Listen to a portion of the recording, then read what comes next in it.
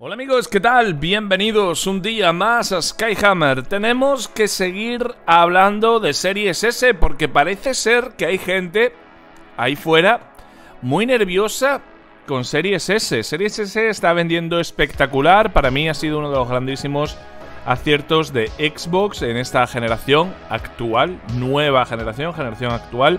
Llevamos ya dos años con la generación, pero parece ser que hay gente a la que le molesta vamos a ver un artículo y vamos a ver una campaña de desprestigio mundial que se está montando en torno a Series S en la actualidad. Todo esto a raíz del lanzamiento de Gotham Knights, que ya estuvimos hablando y en breve os voy a traer mis impresiones sobre Gotham Knights. Vamos a ver todo esto, vamos a ver una nueva posibilidad para comprar PlayStation 5 aquí en España y vamos a hablar de por qué hay algunos que se están poniendo tan nerviosos con Series S. Pero antes de empezar os traigo un descuento espectacular para Eneva. Aquí lo tenéis 10 de descuento en Eneva, solamente en la aplicación. Si no tenéis la aplicación, tenéis un enlace debajo y lo podéis descargar. Podéis descargar la aplicación y desde el móvil, tanto desde España como Latinoamérica, podéis comprar cualquier juego, tarjeta, suscripciones con un 10% de descuento y Eneva ya tiene unos precios espectaculares. Con el código DTO APP10 a la hora de pagar, te llevas un 10% de descuento. Os recuerdo que acaban de salir muchísimos juegos espectaculares. Tenemos juegos como Uncharted, por ejemplo, eh, con el legado de los ladrones, la colección espectacular, A Plague Tale Requiem. Tenemos Cyberpunk, Scorn, muchísimos juegos, como veis aquí, Steel Rising, que los recomiendo mucho y, y hablé de él aquí. Y muchísimos, muchísimos otros juegos. Si me preguntáis a mí qué recomendaría yo, yo recomiendo, aparte de los juegos que os gusten, por supuesto, yo recomiendo Game Pass en Eneva, que pagas dos meses Game Pass Ultimate y te llevas tres. Y además le metes un 10% de descuento con este descuento DTO APP 10 en la app. Impresionante. Así que si no tenéis la aplicación, descargadla y, y os ahorráis un dinerito. Yo siempre busco traeros los mejores descuentos posibles. Así que una vez dicho todo esto, vamos a hablar de por qué algunas personas se están poniendo tan nerviosas con Xbox Series S. Sin más dilación, ¡comenzamos!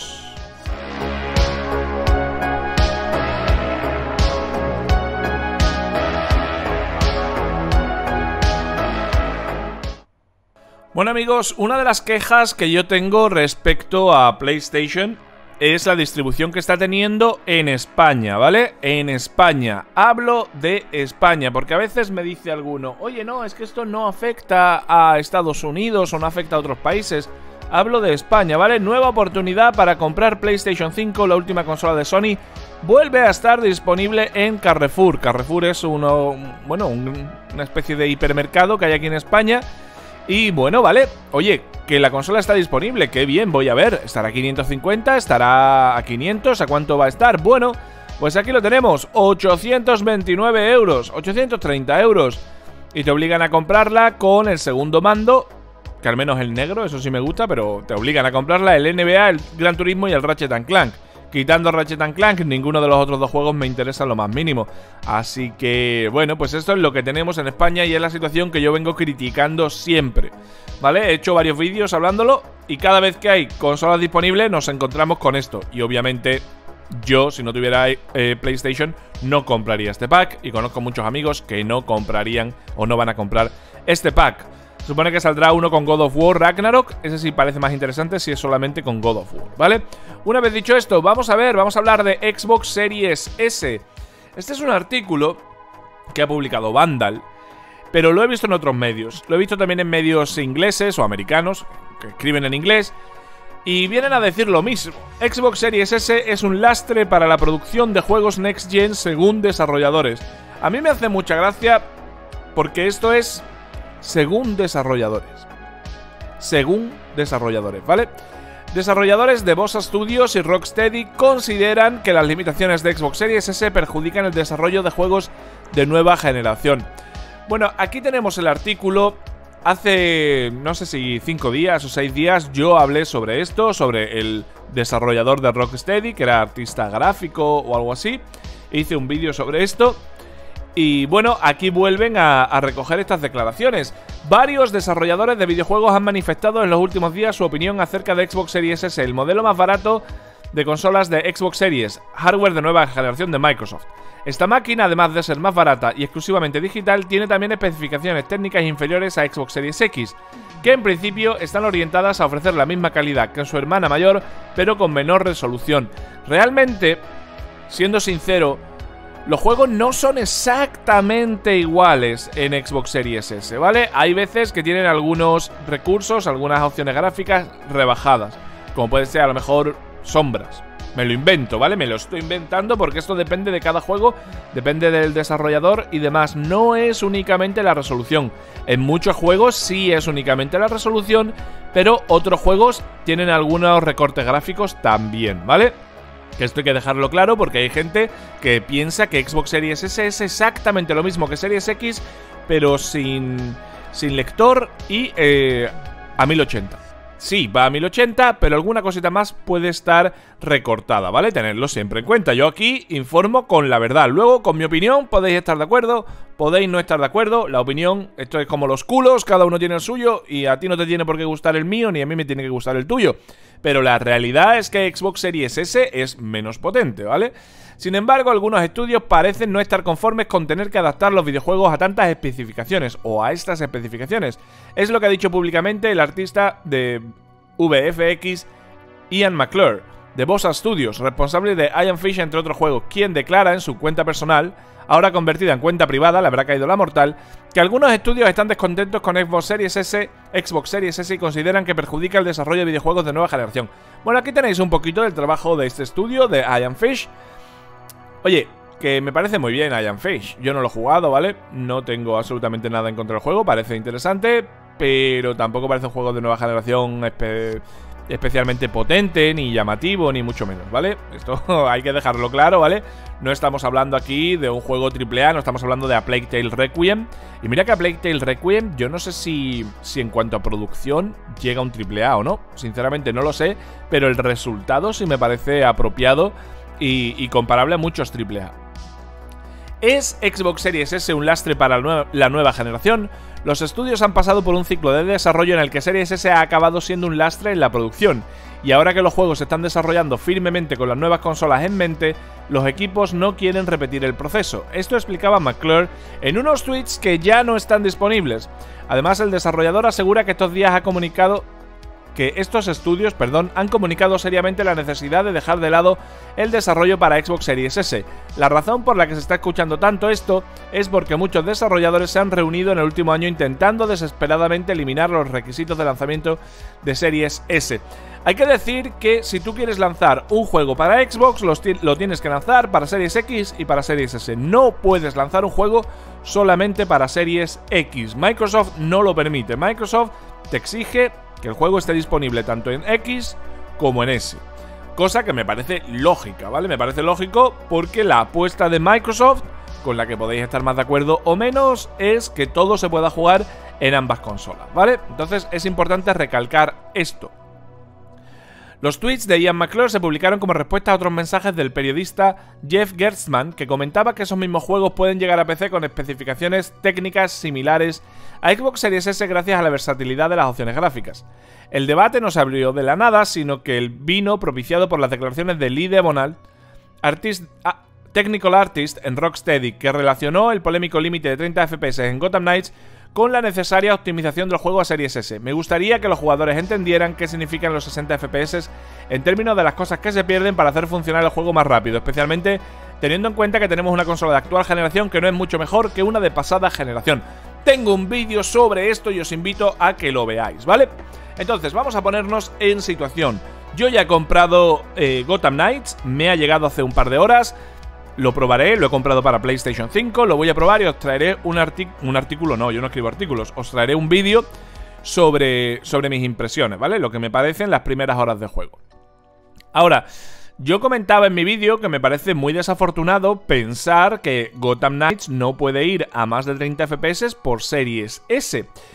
Sería una locura, sería absolutamente absurdo Pensar que Series S está lastrando PlayStation 5. Yo puedo entender que el desarrollo se pueda haber lastrado en Xbox, pero si no, si lo que se ve lastrado es PlayStation 5, que hay gente que piensa que PlayStation 5 es más potente que Xbox Series X, pues entonces aquí Xbox se ha marcado un tanto, entre muchísimas comillas, porque ha limitado la potencia de PlayStation en los juegos multiplataforma, según este punto de vista. Pero es bastante llamativo porque, como digo, eh, Series S lastra los juegos de nueva generación, pero luego PlayStation te sigue lanzando juegos de PlayStation 4. God of War está, está limitado o no está limitado, porque PlayStation 4 es bastante menos potente que Xbox Series S, ni siquiera es una consola de nueva generación y además lleva prácticamente, ahora se cumplen, bueno, 9 años han cumplido ya, se pueden cumplir ya mismo 10 años, vamos a cumplir con las consolas de antigua generación, PlayStation 4 y Xbox One. Entonces, God of War es un juego que va a estar muy limitado técnicamente por haberse lanzado en PlayStation 4. O lanzarse, porque le quedan unas semanas todavía para que se lance God of War Ragnarok. Horizon Forbidden West es un juego que se ha visto lastrado por tener que lanzarse en PlayStation 4, ¿verdad? Todos estos juegos, los verdaderos juegos de nueva generación, lo siento, lo siento que vosotros lo sepáis, Juegos de verdadera nueva generación en PlayStation pues son Ratchet Clank y Returnal y Demon Souls. Y sobre todo Destruction All Stars, porque no están disponibles para PlayStation 4. Porque si estuvieran disponibles para PlayStation 4, esto lastraría los juegos todo esto que estamos hablando, ¿no? Y sinceramente yo creo que God of War, al igual que Horizon en PlayStation 5, va a ser una locura. Yo creo que God of War en PlayStation 5, la versión propia de PlayStation 5, mm, me va a hacer que me peine para atrás. Yo ya lo tengo comprado, ya lo, lo comenté en un vídeo anterior, y estoy deseando que llegue God of War Ragnarok. Entonces, os lo digo de corazón, ¿cómo es posible que me digan que Series S está lastrando el desarrollo de los juegos cuando luego PlayStation o Capcom, podemos entrar en Capcom también, Resident Evil, Resident Evil 4 se ve lastrado por lanzarse en PlayStation 4 o se ve lastrado por lanzarse en Series S. ¿Vosotros qué pensáis? Porque se va a lanzar en las dos plataformas. Se va a lanzar tanto en Series S, Series X también, pero hablando de los de las consolas menos potentes, Series S y en PlayStation 4. ¿Cuál es la que limita aquí? Series S, ¿no? Según nos dicen desarrolladores. Desarrolladores. Y a mí me hace gracia. Me hace gracia que llegue el desarrollador de Rocksteady y se ponga a hablar de Gotham Knights, pero luego diga que él no trabaja en el estudio, que él no tiene ni idea, literalmente lo puse en el vídeo, ¿vale? No tengo las declaraciones aquí, tendría que buscarlo en Twitter pero dijo literalmente, no tengo ni idea de por qué han tomado la decisión de, limitar el juego a 30 FPS. Oye, pues bien que has soltado aquí una parrafada, bien que has soltado aquí tu discursito contra Series S, para luego decir, oye, que yo no tengo ni idea de por qué han decidido esto. Porque hay muchos juegos en Series S que van a 60 FPS e incluso a 120. Entonces, este, esto es lo que estamos viendo. Lo que yo me pregunto, porque todo esto a mí me, al ver todo esto a mí me surgen preguntas. Me hacen preguntarme cosas. Entonces, PlayStation 4 no lastra la nueva generación, pero Series S sí. Y luego, aquí hablan de desarrolladores, ¿vale? Eh, vamos a ver un momentito la noticia otra vez. Series S lanza, lastra, perdón, la producción de juegos Next Gen según desarrolladores. Los de Boss Studios y Rocksteady, que es uno de cada uno, ¿vale? Y el de Rocksteady ya ha dicho que él no ha trabajado en, en el juego que estaba explicando. Pero eh, algunos estudios parecen no estar conformes porque lo ha dicho eh, el de Bosa Studios. Afirmó que algunos estudios están descontentos porque perjudica el desarrollo y demás, ¿no? Oye, que a mí me ha dicho mi primo, vosotros os acordáis, os acordáis del artículo del primo, ¿no? Mm, ¿Cómo era la página web? Área Jugones creo que era, ¿no? Que decía que Xbox Game Pass es una basura porque su primo un día fue a su casa y su primo descubrió el Game Pass y dijo, ¿esta qué basura es? Y descubrió el PlayStation Plus y flipó. A pesar de que se descargó Deathloop, que estaba en PlayStation Plus y en Xbox Game Pass desde el mismo día. Entraron a la vez, ¿vale? Pero me lo descargo en PlayStation en lugar de jugarlo en Game Pass, ¿vale? El, juego que me interesa está en los dos, pero eh, me, me gusta más en PlayStation. Entonces, Aquí parece que se lo está diciendo el primo. El primo. No, me lo ha dicho alguien, me lo han dicho desarrolladores. Pues vamos a ver. Cuando salga alguien de Ubisoft, alguien de Capcom, alguien de, yo qué sé, de estudios importantes, ¿no? Ciertas editoras, ciertos estudios que te digan, tío, Square Enix, no sé, bueno, Square Enix es que trabaja mucho más para PlayStation, hay muchos juegos que son exclusivos de PlayStation. Pero yo quiero ver desarrolladores no y desarrolladores con juegos importantes. Yo no me creo que Series S lastre juegos como Iron Fish, ¿vale? No lo creo. Ya está aquí la gatita molestándome. No creo que desarrolle que, desarrollar un juego como Iron Fish lo vuelvo a poner aquí, ¿vale? Iron Fish, aquí lo tenéis. Yo no sé cómo Series S puede lastrar este juego. ¿Vale? Os lo digo tal y como lo siento. ¿Vale? Me podéis decir, oye, Skyhammer, es que tú no eres desarrollador. Yo no soy desarrollador, por eso pregunto. Por eso pregunto, ¿cómo es posible que Iron Fish se vea lastrado por Series S? ¿Vale? Y luego a Plague Tale Requiem no se ve lastrado, ¿no? Porque en Asobo no se han quejado. En Asobo no se han quejado. Es más, sale Gotham Knights, que ya digo, lo voy a probar y voy a traer mis impresiones. Y se quejan otros. Es que no se quejan los de, los de Warner. Se quejan otros estudios ajenos. ¿Vosotros os dais cuenta? Me, llama la atención porque las personas que están trabajando en los juegos no se quejan. Se quejan otros. Y dicen, no, diversos desarrolladores. Pues tío, dime uno de Asobo que estado haciendo. Un, equipo de Asobo que está haciendo la versión de Series S, adaptando el juego a Series S, eh, pues se han partido la cabeza porque no había manera. Dímelo así. Y que sea el de Asobo que me lo diga. Perfecto. Perfecto, pero yo me pregunto, oye, entonces cuando salió PlayStation 4 Pro, cuando salió Xbox One X, ¿podemos decir que las consolas normales, PlayStation 4 o Xbox One, limitaban el desarrollo de sus hermanas mayores, de las versiones vitaminadas? ¿Y qué pasa en el PC? Que hay gente jugando con una 1060 y los juegos se pueden jugar perfectamente. ¿Eso no limita? Pregunto. Como digo, yo no tengo la respuesta, yo tengo muchas preguntas. Entonces tú estás adaptando un juego para X tarjetas gráficas, para X configuraciones de hardware, muchas que corresponden a una Series S y eso no te limita. Lo que te limita es la propia Series S que tiene unas características concretas. Punto. Esto, Series S es esto. Y luego empecé hay 200.000 configuraciones. Y luego, ¿qué va a pasar cuando salgan las nuevas, las nuevas consolas vitaminadas? Cuando salga una Xbox Series XL, me invento el nombre, ¿vale? O una PlayStation 5 Pro. Porque van a salir, yo creo que van a salir. Si no salen en 2023, será en 2024.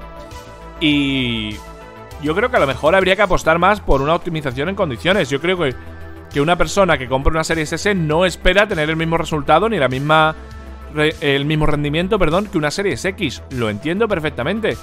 Pero es que aquí parece ser que todo el mundo tiene un dinero infinito o unos recursos infinitos o lo que sea. Yo os digo de corazón, os lo digo de corazón, que yo estoy deseando comprarme una Series S.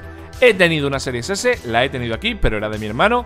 Eh, es más, cuando él la compró, la compró por internet y le dije, tío, pon el envío a mi casa, que me llegue a mí. Él me lo, bueno, lo hablamos y le pareció bien. Me llegó la Series S, hice el unboxing, la estuve probando durante una semana, jugando a tope. Y luego ya él vino aquí, nos vimos un fin de semana, estuvimos juntos y demás y se llevó la consola. Y mi experiencia con Series S ha sido buenísima. Y yo os aseguro que estoy deseando tener una Series S propia para tenerla aquí en el canal, para hacer gameplays en directo, para probar juegos, para tener Series X y Series S y jugar con las dos consolas. A ver si yo veo tanta diferencia, a ver si es que, eh, bueno, Series S, como dicen, es una patata, porque además estamos viendo una campaña de desprestigio hacia Series S, que es la que no tiene problemas de stock, es la que se está vendiendo más sin ningún tipo de problema, un precio realmente competitivo, y esta es el enemigo a batir. Este es el enemigo batir. Una consola perfecta para Game Pass, una, una, consola perfecta para ser la segunda opción si tu consola favorita es PlayStation. Si tu consola favorita es PlayStation, pero quieres jugar a Starfield, una Series S. Y vamos que nos vamos, ya está. Ya está, yo lo veo perfecto. Pero bueno, parece ser que hay ciertas personas a las que le molesta que Series S funcione tan bien. Porque funciona espectacularmente bien. Pero obviamente una consola que cuesta 299 dólares o euros, 299 euros, que normalmente se puede comprar por 270, 280. había una oferta hace poco que te regalaban el FIFA 23 y el FIFA vale, creo que eran 70 euros, creo. No sé si eran 70, 80. Pero bueno, vamos, que te llevas un juego eh, gratis con la consola. En lugar de pack, ¿vale? En lugar de un pack de 300 euros la consola más 70 o 80 el FIFA, lo que hacían era te regalaban el juego para que vosotros veáis la diferencia de packs entre una marca y otra, ¿no? Entonces, eh, También hay packs de Xbox, alguno que te han hecho comprar un Game Pass o que te han hecho comprar ciertas cosas, ¿vale? Aquí no se libra nadie. Pero la mayoría de packs que yo he visto de Xbox no son, no tienen la poca vergüenza que tienen los de PlayStation. Porque saben que los de PlayStation se van a vender todos. Así que bueno, no sé cómo lo veis. A mí esto que dicen desarrolladores, bueno, pues no me lo puedo tomar muy en serio. Que en un futuro sale el de Asobo sale uno de Capcom, sale uno de... Yo entiendo que uno de, de un estudio propio de Xbox no te va a venir uno de 343 Industries o, o de cualquier otro, de Playground Games o de lo que sea, de cualquier estudio propio, no te va a venir a decir, oye, que la serie SS no tira bien. Obviamente no. Pero de un multiplataforma, de un estudio que saque juegos multiplataforma, si quisiera saber qué opinan. Porque yo esto no me. A esto no le puedo dar la misma credibilidad al señor de Iron Fish que al que está haciendo Resident Evil 4. Bueno, los que están haciendo Resident Evil 4, que son muchísima gente, ¿vale? Que estos juegos eh, no los desarrolla una persona, los desarrollan muchísimos trabajadores. Así que bueno, señores, hasta aquí mi vídeo de hoy. Os recuerdo, 10% de descuento en Eneva, en la aplicación, con el descuento DTO APP 10. 10%. Te llevas un Game Pass baratísimo, los juegos nuevos súper baratitos también. Una tarjeta de PlayStation para comprar en la store más barata, te ahorras un 10%. Échale un vistazo. Y como siempre, os invito a que os suscribáis, os podéis hacer miembros. Ayer mucha gente se hizo miembro en, en el directo de Resident Evil. Muchas gracias a todos. Os invito a que os suscribáis, a que le deis a la campanita y os dejo un par de vídeos por aquí para que le echéis un vistacito y seguimos charlando de videojuegos. Déjame un comentario porque los leo todos y nos vemos en el siguiente vídeo. Hasta luego. Bye.